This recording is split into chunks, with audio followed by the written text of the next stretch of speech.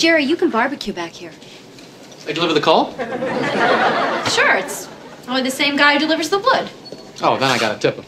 For any Seinfeld fans like myself, you're super familiar with Jerry Seinfeld's New York City apartment from the show, which served as a meeting ground for he, George, Elaine, and his next door neighbor Kramer. In reality, the bajillionaire comedian lives in a much more lavish duplex with his family in Central Park West. Not to mention, he has a holiday home worth a whopping 32 mil and has owned other mansions over the years. In this video, we'll see Jerry Seinfeld's real life and super impressive properties. Jerome Allen Seinfeld, aka Jerry Seinfeld, is a comedian, actor, writer, producer, and director. He's known for playing the semi-fictionalized version of himself in the sitcom Seinfeld, which he created and wrote with Larry David. Also one of the funniest, if not the funniest shows of all time.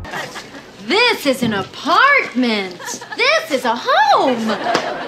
This is a place to live. The show aired on NBC from 1989 until 1998, becoming one of the most acclaimed and popular sitcoms there ever was. In 2004, Jerry was also named the 12th greatest stand-up comedian of all time by Comedy Central. More recently, we've seen the show Jerry created and hosted on Netflix called Comedians in Cars Getting Coffee, which makes sense considering Mr. Seinfeld has one of the most envious car collections around. But that's another video altogether. Before Seinfeld was produced, Jerry lived several blocks west of Central Park on 81st Street which became the basis for the fictional apartment from the show. Early episodes also show apartment 411 129 West 81st Street, which is only a block away from the famous Beresford Art Deco building, where Jerry owns a duplex in real life. So while Jerry may not live in that cozy famous apartment from the series, he and his wife Jessica and their three children never strayed from New York City. They only upgraded. At the time of this recording, Jerry is still working hard and has amassed an estimated net worth of 950 million. So it's no wonder he can throw throw down 32 million bucks on one of his residences. Hey guys and girls, it's Kara and today we're bringing you another house tour here on Famous Entertainment.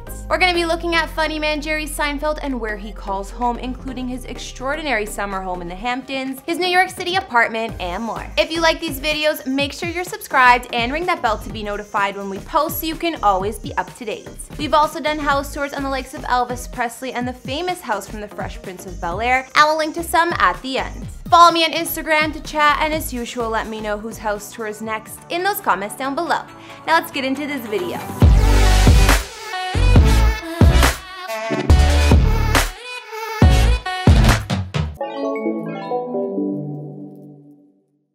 Years ago, it was reported that the Seinfelds put one of their properties on the market outside of New York City. This estate was located in the lavish area of Telluride, Colorado, and listing information described their property as a family compound comprised of an evolving series of Western ranch structures that recently had a multi-million dollar expansion and upgrade. Nestled in the Rocky Mountains, Telluride is a former mining town turned secondary home destination for rich and famous ski enthusiasts. Seinfeld's home actually sits near the Telluride ski resort. Jerry and his wife own two adjacent properties here according to reports. The first they bought for 7.5 million in 2007 and the second was acquired the next year for 2.3 million. When the couple hoisted the property onto the market, it makes sense that they were asking a whopping 18.2 million for it. The land spanned over 26 acres and that price tag included the lavish furnishings as well. Altogether, the mansion spanned 14,200 square feet of space with 11 beds, 11 full baths, and 3 half baths in the multi-wing main house and its separate outbuildings. The interior space had a double height great room with stone fireplace, soaring wood ceilings, and hardwood floors, as well as a full wall of windows opening to an entertainment terrace. Just think luxury cabin. There were cozier quarters in the home too, like a library with vaulted ceilings, built-in bookshelves, and leather chairs. The skylit country kitchen also had wood beam ceilings, and the well-equipped space had a large work island, high-grade appliances, and multiple eating areas from a snack counter to built-in banquette. Bedrooms and bathrooms had a luxury country house charm to them, with reclaimed wood floors and more wood paneling. Elsewhere in the mansion, there was also a full gym. Considering there is 26 acres of land to roam outside, the Seinfeld's Colorado getaway had manicured trails winding around the property and through the trees, even leading to a beautiful creek. So while we don't have too many photos of the interior,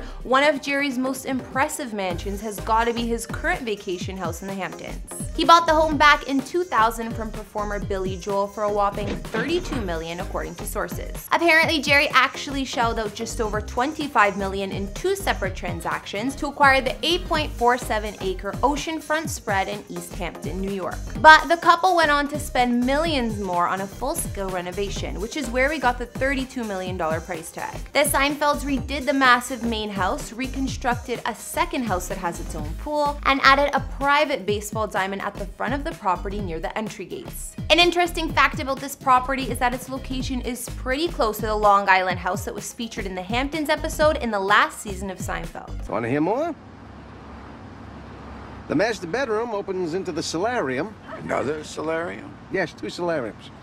Quite a find. Jerry's massive Hamptons estate has a large manor house with its own garden and pool, a guest house, the main pool, a barn, and the baseball diamond that I mentioned. Although the couple keeps much of this mansion private, we've seen photos of the main living spaces. In the living room and common spaces, there are dark wood floors and white cabinets to keep things fresh and functional. There are comfy sofas, piles of books, and an airy, spacious kitchen containing one of Jerry's most prized possessions.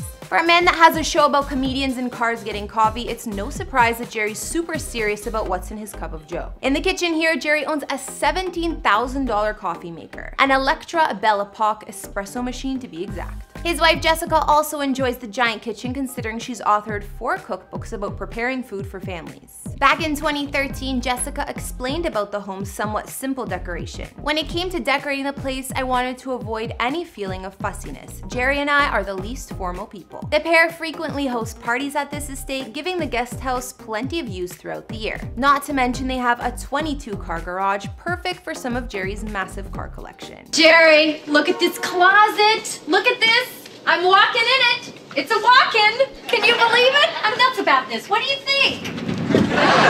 So as I mentioned, Jerry and his family do have a main residence in Manhattan that they've long owned in a prestigious and iconic building. It's said that the Seinfelds have bought up some other properties in New York City over the years, like a townhouse building and more, but this is the one we know that they live at. In 2010, Jerry bought this duplex for 10.2 million at one of Central Park West's most glamorous buildings, the Beresford. This is a pre-war apartment building, and over the years, apartments have listed for sale up to a whopping $62 million.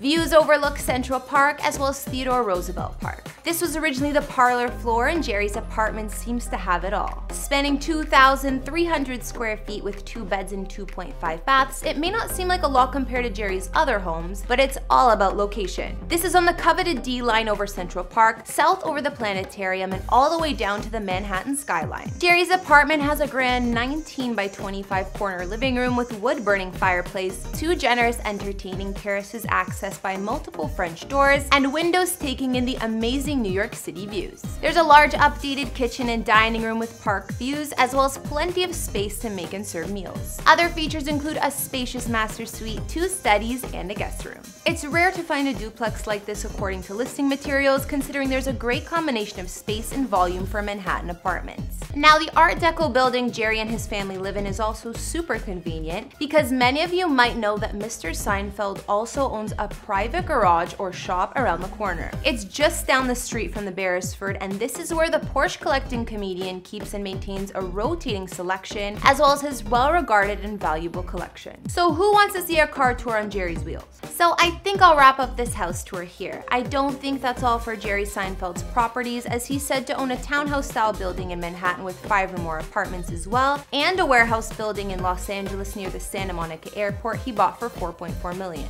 His wife also has a ranch house in her hometown of Burlington, Vermont, on Lake Champlain's Apple Tree Bay. After looking at Jerry's mansions in Colorado, the Hamptons, and his New York City apartment, which was your fave? Be sure to tell me down in the comments. I also recently launched a personal channel, so if you want to get to know me better, watch my latest vid and subscribe. Here's a clip.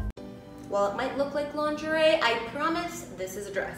I'll let you in on a little secret. If you ever want a bikini like this, and you plan on wearing something this flashy, I got this from AliExpress, it was like 10 bucks, and that's one of my secrets. Something that I would wear to a beach party or beach club. I was actually saving this for Vegas, it's from Fashion Nova, but I didn't get to travel this year, so this would be a blast from the past, but I still think they're hot. Thanks for tuning in, guys. Don't forget to follow me on Instagram and let me know whose house we're taking a tour of next. I'll see you all in the next vid.